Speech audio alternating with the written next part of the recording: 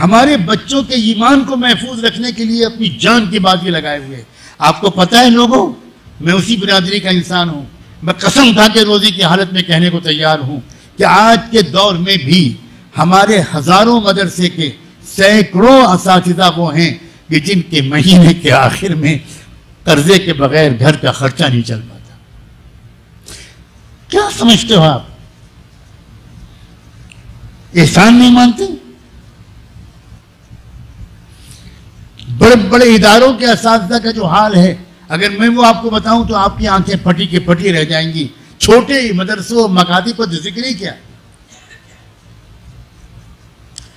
ہمارے ندت العلماء میں ایک استاد تھے، بہت سینئر استاد۔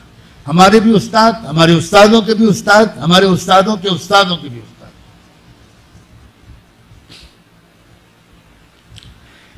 ان کی اہلیہ مکرمہ دماغی بیماری میں مبتلا ہو گئی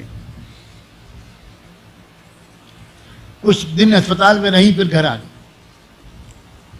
تو ہم لوگوں نے پتہ لگایا کہ گھر جو آ گئی تو حالت بہتر ہو گئی۔ تو معلوم ہوا کہ نہیں، بہتر تو نہیں ہوئی، وہ تو گھر میں بھی لا کر زنجیروں میں جکڑی رہتی ہیں بیچاری۔ زنجیروں میں باندھنا پڑتا ہے۔ تو میں ان استاد کی خدمت میں حاضر ہوا۔ اور بہت ڈرتے ڈرتے، گھبراتے گھبراتے میں نے ان سے کہا کہ حضرت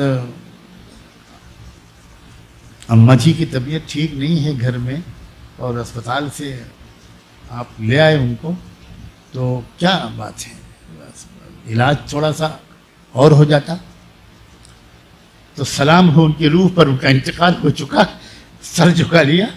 سر کیوں جھکایا؟ وہ اپنے آنسوؤں کو چھپانے کی کوشش کر رہے۔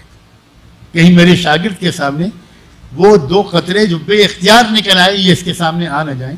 لیکن میں نے دیکھ لیے۔ میں نے ان کے گھٹنوں پہ ہاتھ رکھ دیا۔ میں نے کہا، آپ کو قسم ہے، اس رشتے کی جو میرا آپ سے ہے، آپ ذرا مجھے کچھ تو اشارہ کریں کہ بہت مہنگا علاج ہے۔ سجاد میاں، بہت مہنگا علاج۔ میں میں سمجھ گیا۔ اللہ اکبر، کیا ہو گیا اس امت کو بھائی؟ کیا جواب دیں گے ہم اللہ کے ہاں؟ ہمیں اپنی بیٹیوں کی شادی میں پانچ لاکھ، دس لاکھ خرچ کرنے کے پیسے ہیں ہمارے پاس۔ ادھار لے کر خرچ کرنے کے پیسے ہیں۔ لیکن بخاری، مسلم اور مشکات سے لے کر یہ سند القرآن اور نورانی قاعدہ پڑھانے والوں کی خدمت کے لیے ہمارے پاس پیسے نہیں ہیں۔ تف ہے ایسی بخیل قوم پر۔